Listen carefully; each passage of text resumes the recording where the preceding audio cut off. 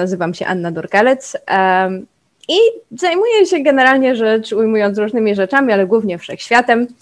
E, I dzisiaj chciałabym Wam opowiedzieć o jednym bardzo szczególnym elemencie tego wszechświata e, i do tego bardzo dziwnym elemencie tego wszechświata, a mianowicie o ciemnej energii. No i jeżeli od razu zapytamy, zadamy takie pytanie, czym jest ciemna energia, no to od razu mam, Wam mogę powiedzieć, że tego nie wiemy. Pojęcia nie mamy. Znaczy, oczywiście mamy jakieś tam e, pomysły na to, czym ciemna energia mogłaby być, ale na ten moment ciemna energia pozostaje największą zagadką astrofizyki i kosmologii. No dlaczego pozostaje zagadką? No bo jest dziwna. Znaczy, jest nawet nie tyle dziwna, jest super dziwna, ale gdyby była tylko dziwna, to nie byłoby z tym problemu. Problemem jest to, że nie dość, że jest dziwna, to jest jej super dużo we wszechświecie. A żeby powiedzieć to dokładnie, to dominuje we wszechświecie. E, stanowi 68% składu wszechświata. E, dla porównania, ciemna materia, o której przed chwilą e, Andrzej mówił, stanowi niecałe 27%. I ciemna energia to też nie jest coś, co do końca rozumiemy. To, co rozumiemy i to, co znamy, to, z czego jesteśmy zbudowani, to, z czego zbudowane są wszystkie gwiazdy, galaktyki, wszystko to, co świeci, to cały internet, cała Ziemia, wszystko. To wszystko we wszechświecie taka zwykła materia stanowi jedynie 5%. Czyli to jest normalne. To znamy, potrafimy opisać, jest nam znajome. To ciemna materia jest dziwna, ale jak usłyszeliście na poprzedniej prezentacji, no coś tam ogarniamy, mniej więcej jest jeszcze do zrozumienia. Ciemna energia z kolei jest super dziwna. Ale dlaczego jest super dziwna? No i tutaj zaczniemy od analogii. Wyobraźmy sobie, że podrzucamy piłeczkę. Jak macie, możecie sobie podrzucić. Ja mam mandarynkę, podrzucam. Czego byśmy się spodziewali po takiej podrzuconej piłeczce? No więc ogarnęliśmy już bardzo dawno z doświadczenia i z teorii grawitacji. Cała nasza wiedza mówi nam, że piłeczka spadnie. No dobra, możemy sprawdzić, piłeczka spada. E, dobra, więc teraz wyobraźcie sobie, że podrzucacie taką piłeczkę. Dalej, podrzucacie taką piłeczkę i taka piłeczka nie tylko nie spada, ale zaczyna się od Was oddalać. Nie tylko się zaczyna od Was oddalać, ale zaczyna przyspieszać w tym oddalaniu. Czyli powiedzmy, najpierw sobie leci i cały czas się od Was oddala. Leci cały czas, nigdy się nie zatrzymuje. Cały czas przyspiesza.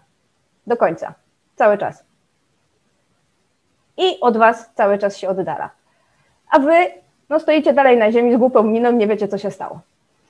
Generalnie e, w ten sposób wyglądali astrofizycy mniej więcej 20 lat temu, gdy odkryto, e, że wszechświat prawdopodobnie się rozszerza coraz bardziej i coraz bardziej przyspieszając.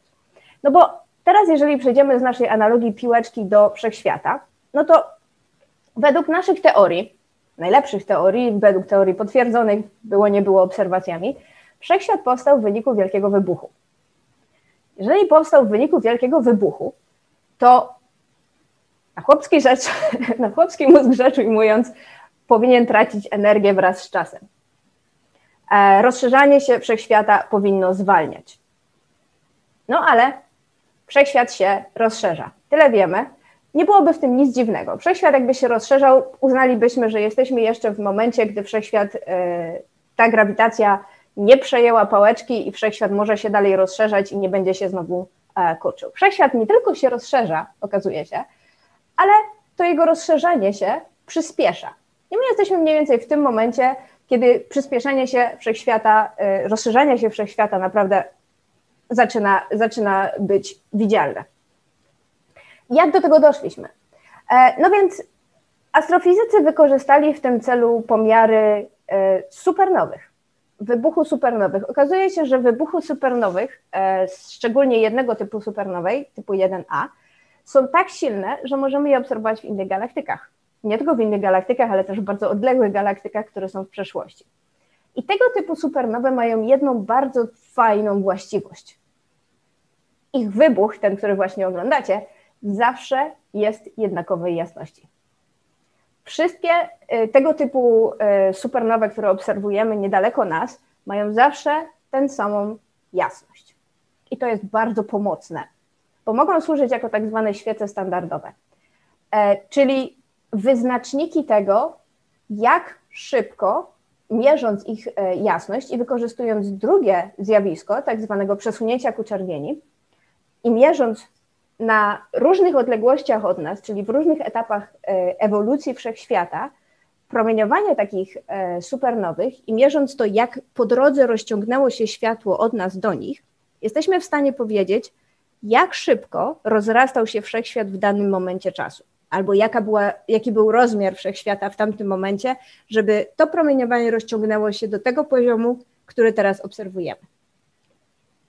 Ok, wszystko fajnie, umieściliśmy to sobie na wykresie i wyszło mniej więcej to. E, to, co tutaj oglądacie, to te czarne punkciki, to są właśnie punkty pomiarowe, które e, wyszły z pomiaru promieniowania tych supernowych. No i teraz dopasowaliśmy do tego nasze najlepsze modele. To, co oglądacie na tym wykresie, to generalnie po prawej stronie, jeżeli te punkty znalazłyby się po prawej stronie, to mielibyśmy dowód na to, że ekspansja wszechświata zwalnia. Po tej stronie wykresu byłby taki wszechświat, e, który najpierw wybucha, rozrasta się, ale ta ekspansja jego powoli, powoli zaczyna zanikać, aż do momentu, możliwe, że do jednego momentu, w którym e, wszechświat już nie ma tyle siły, żeby rozszerzać się dalej, grawitacja przejmuje pałeczkę i wszechświat wraca z powrotem i, i kurczy się do, z powrotem możliwe do ponownego wielkiego wybuchu. To byłaby jedna z możliwości. Kolejna możliwość jest taka, że wszechświat się rozszerza i że to rozszerzanie się przyspiesza. I to jest to, co znajduje się po lewej stronie tego wykresu. No i jak widzicie, nasze punkty znajdują się bardziej na niebieskim. Zwłaszcza te tutaj, e, które są e, pochodzące od starszych supernowych. Czyli wychodzi na to, że wszechświat nie tylko nam się rozszerza, ale też rozszerzanie się wszechświata przyspiesza. Czyli wszechświat rozszerza się coraz szybciej i szybciej, zamiast rozszerzać się coraz wolniej i wolniej. I to była wiadomość niesamowita i to nie jest wcale jakaś stara wiadomość. To odkrycie pochodzi z 1998 roku. No i poza tym, że astronomowie w tym momencie stali z głupimi minami przez chwilę, to zaczęli się zastanawiać, jak to wytłumaczyć. Dlaczego wszechświat przyspiesza i dlaczego rozszerzanie się wszechświata przyspiesza? No więc roboczo uznali, że żeby coś się rozszerzało, potrzebna jest temu czemuś energia. Potrzebna jest dodatkowa energia we wszechświecie, która będzie powodować to, że wszechświat będzie się coraz szybciej i coraz szybciej rozwijał. Roboczo nazwali to ciemną energią. I ta ciemna energia, żeby to wszystko miało sens, musi być związana z przestrzenią. E, ponieważ żeby, ta, żeby ten wszechświat mógł się rozszerzać coraz szybciej, coraz szybciej, tej energii musi być coraz więcej coraz więcej. A tego, co jest coraz więcej coraz więcej, to jest przestrzeń. Czyli można to sobie tak wyobrazić, że ciemna energia jest tak zwaną energią przestrzeni.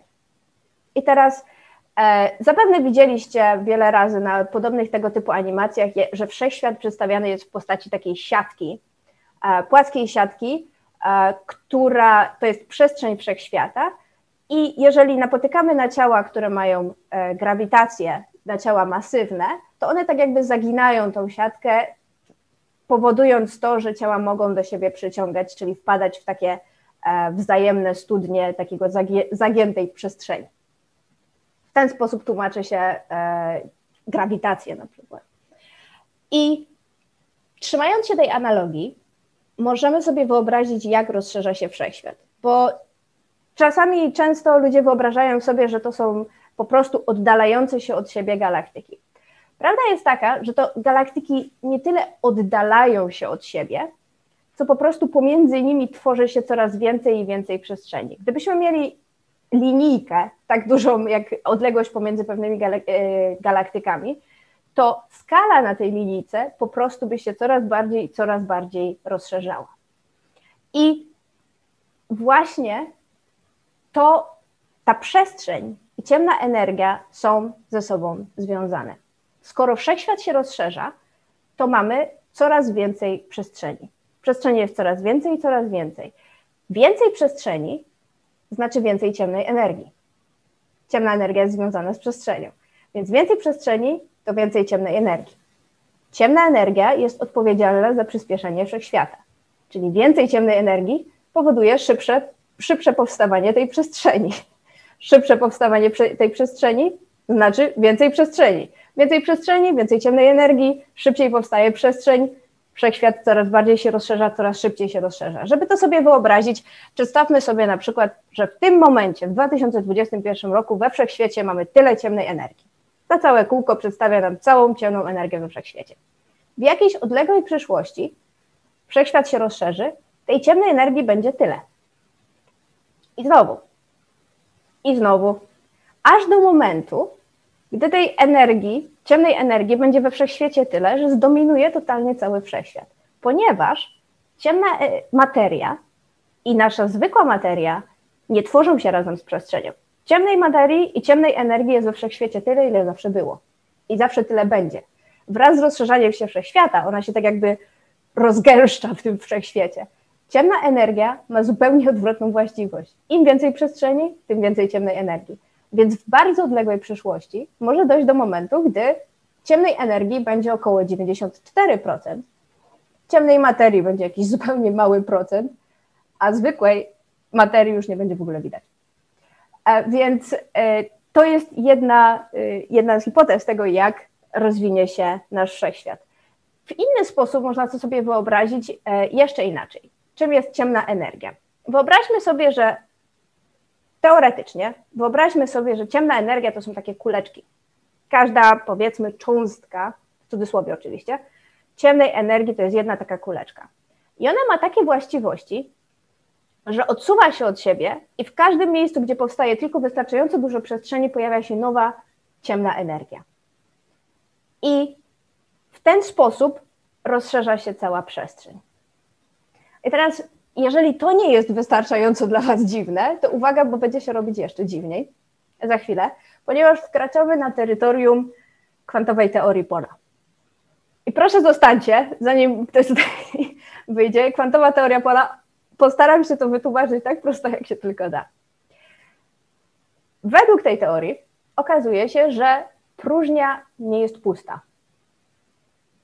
Próżnia pełna jest wirtualnych cząstek. I to nie jest jakiś wymysł teoretyków. E, udaje się te cząstki e, zaobserwować, o tym za chwilę. I to w pierwszym momencie sądzono, że energia ciemnej, e, e ciemna energia to jest właśnie energia tej próżni. Ale teraz dobra, czym jest ta energia tej próżni? Okazuje się, że w próżni spontanicznie mogą powstawać i anihilować się cząstki, tak zwane cząstki wirtualne. One powstają, zaraz znikają. E, polega to na tym, możemy to zaobserwować. I te cząstki mają energię i możemy, ją, możemy zaobserwować ich oddziaływanie nawet, tworząc pewne eksperymenty.